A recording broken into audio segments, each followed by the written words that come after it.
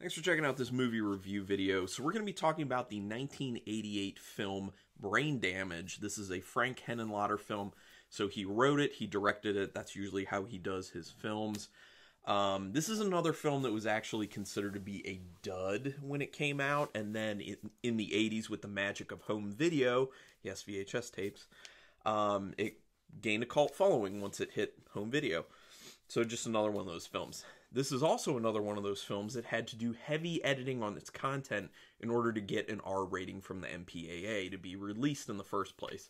So now we have all the content and um, yeah, you can see it how I saw it. I watched it on the Shudder streaming service, which if people don't already have it, I'm not getting paid by them or anything, but it's a great place for horror content. And Brain Damage is on there.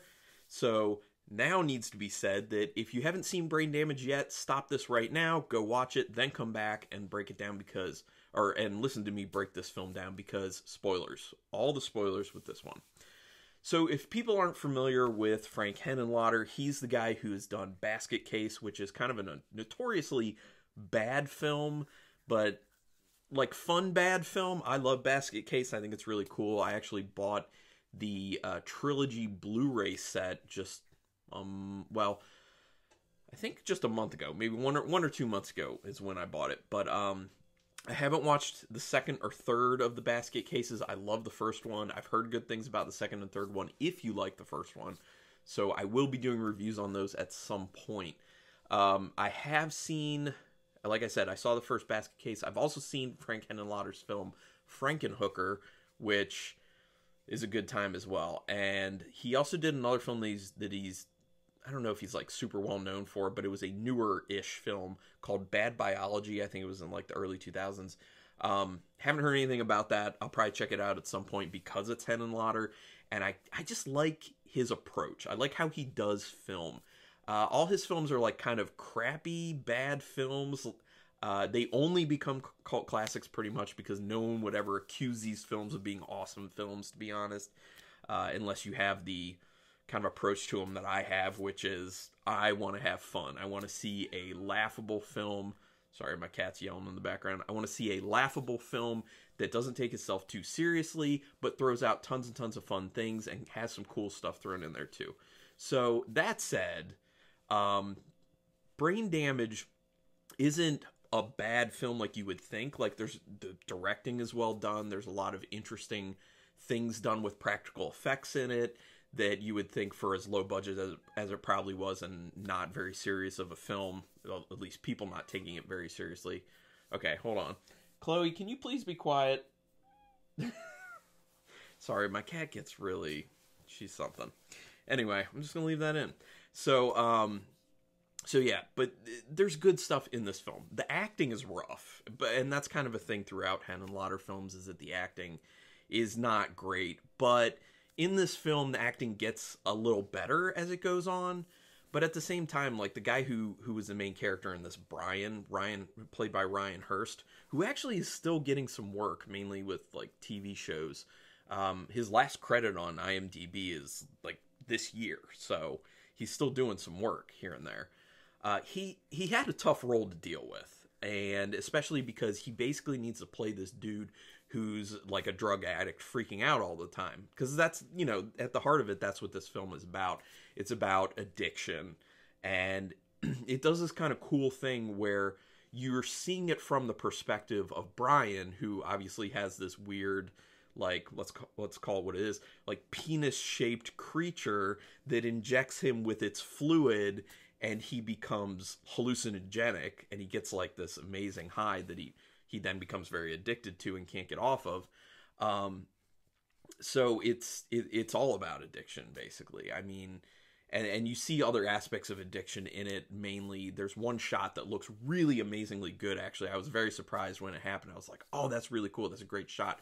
Where he's like kind of jonesing for a fix of of Elmer's juice, and he goes into like an alley uh, and there's like a stairwell, and it shows like a homeless man who's like swigging booze out of a, a, brown paper bag, and it so it focuses on him, and then like to the side of him, Brian comes into into the into the scene in the back, and it kind of like pans over a little bit so it's showing both of them. So it's like the homeless man with his addiction, and Brian is asking Elmer to go ahead and plug into the back. Well, jam his little needle into the back of him and give him some more of his juice. So it's this cool moment of like, here's this addiction and what people think of as addiction as like, oh, you know, it's just this this bum who's who's an alcoholic, and then here's this guy who people look at, um, well, at least in his life, as like an upstanding young man, and here he is getting his fix off this drug that no one else knows about, basically, except the old couple in the beginning, who those people were keeping Elmer. So uh, I just thought that was a really well put together scene that kind of shows the dichotomy of perceptions of addiction, which which was cool. So good job, Frank, on that one. So now I'm going to go to my notes, uh, make sure I hit what I wanted to on that.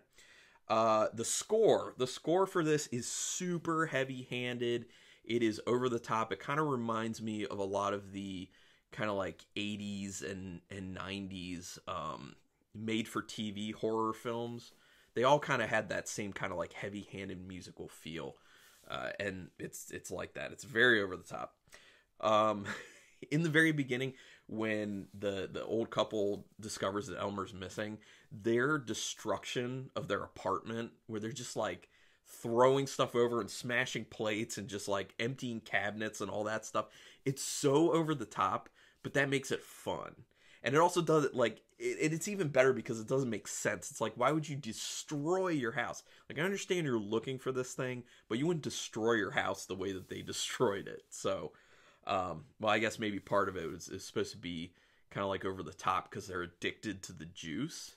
So, and you kind of see that in them much later in the film when they show up and they're they're like they're looking even more haggard and they're around their mouth like they're a little bit blue and there's kind of like some bluish splotches on their faces so it's like they're like they're dying because they can't get the juice basically or they're at least severely uh, degrading physically, kind of like someone who's addicted to crystal meth.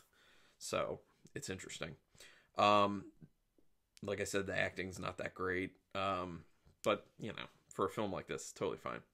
Uh, there are a lot of scenes where it takes forever. He Henenlotter is obviously a fan of the long shot scene uh, just letting things go, letting things play out. Sometimes it's cool because you can kind of, you know, take it in a little bit more and it makes it a little bit funnier too. Like some of the death scenes are insanely long and that makes it funny because it's just like over the top. Like so much yelling, so much of Elmer, you know, plugged into someone's forehead and wiggling his I guess his butt, the end of his tail just like wiggling while someone like flails around and blood spurting.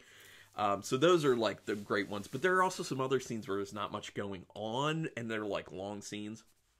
So maybe some editing, some little heavier editing could have really helped with this to cut down some of the more downtime. But overall, I, it doesn't bother me bother me that much.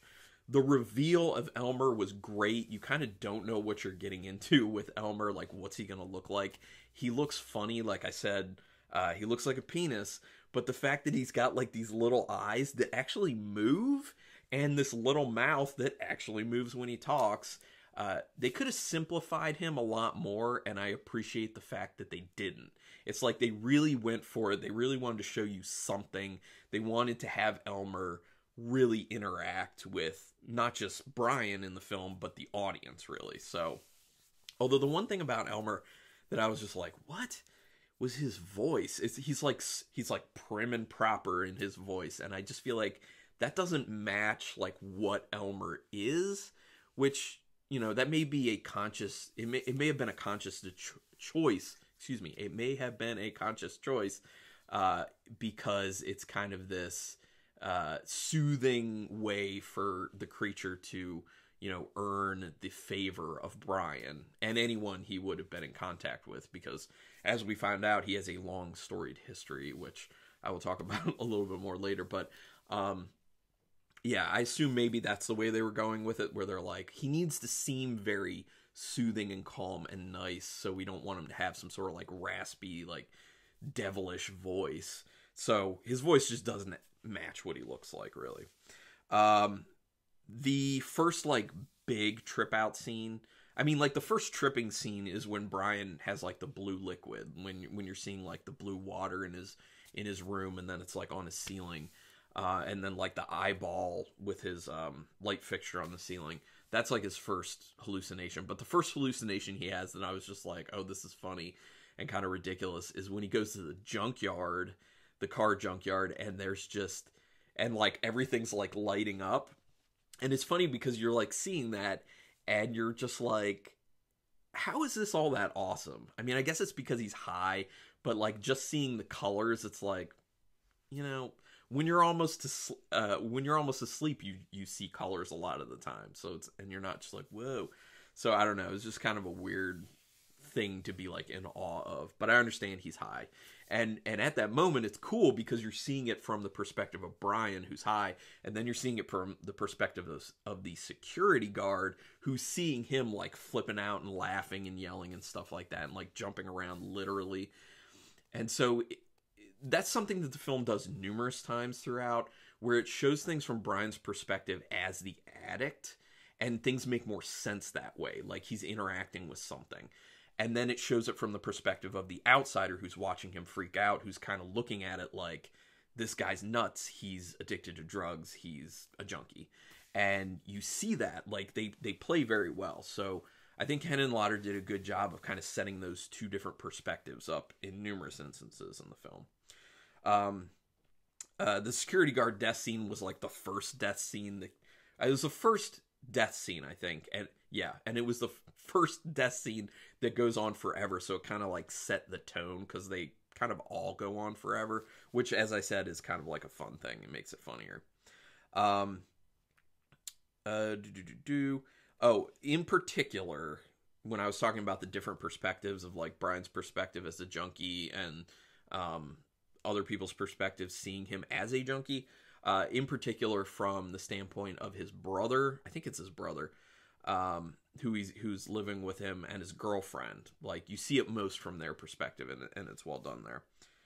Uh, the pulsating meatball brain scene. That's something I really wanted to bring up. When he's out to dinner with his girlfriend and he keeps looking down because he's tripping and like he sees like a pulsating brain in place of the meatball and then it just keeps like going further and further and further. I thought it was just going to be like the one meatball brain but then they just keep upping the stakes. They added more and more until it's like a whole plate of pulsating brains that's just like brah, brah, brah. and the noises that they had going along with it were kind of like sexual actually which i think maybe was supposed to um i think that was that whole scene was supposed to be like a the link between brian and elmer and so brian's actually like getting a little bit of what's going on in elmer's head because he's craving brains so much at that point so, just my thought.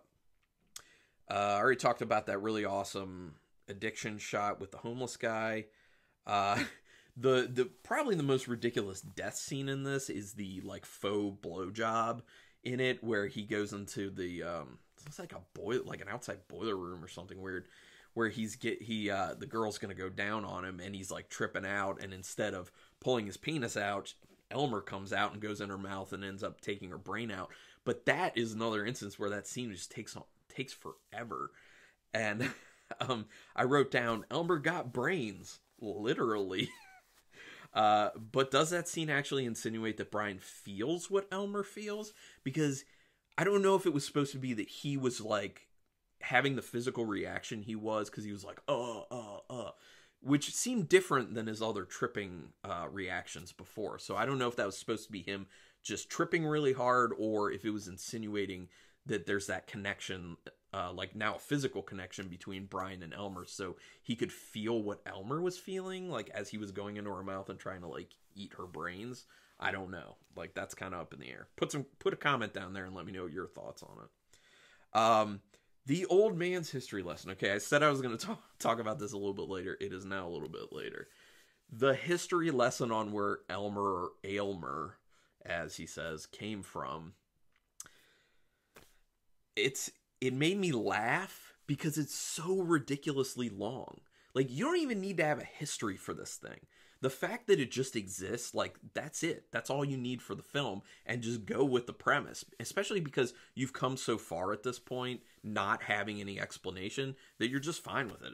So the fact that they then like give you this crazy long history that this guy tells, it just kind of made me laugh because I was like, it's taking so long. It's funny, in my opinion. So, I mean, some people may have found that just annoying, but it was actually funny to me. I liked it.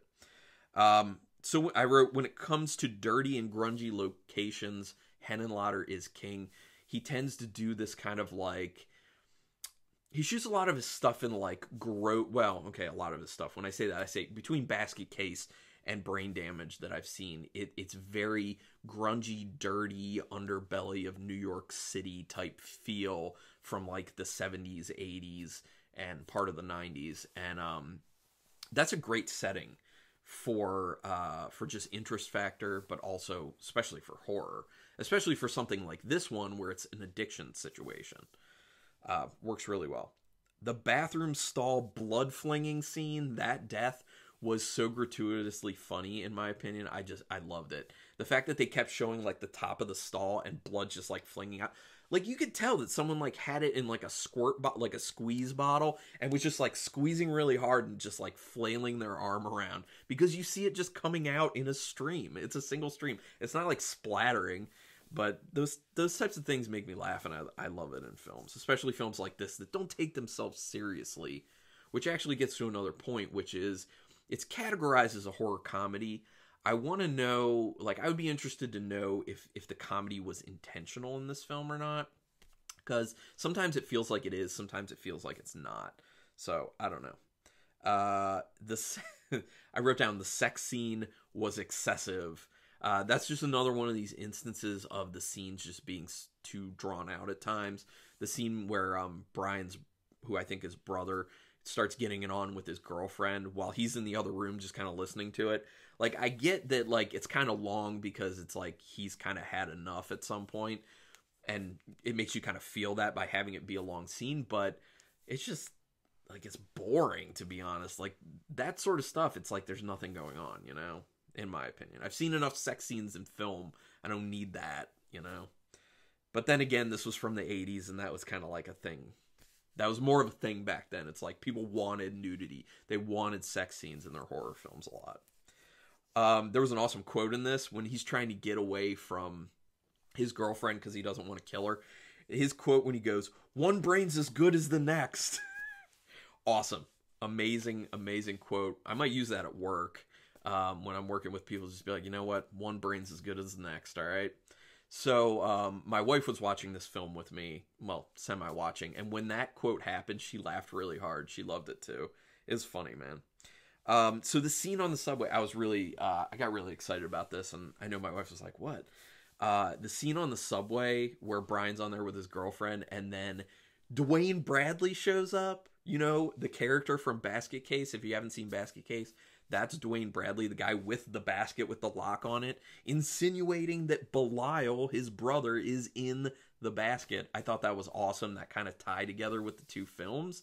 Uh, so it it makes it gives you the idea that these two stories are happening in the same city at the same time. That's cool.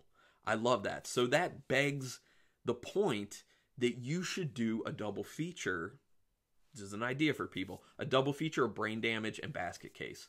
Do it because they're tied together. It's all part of the same story in a way.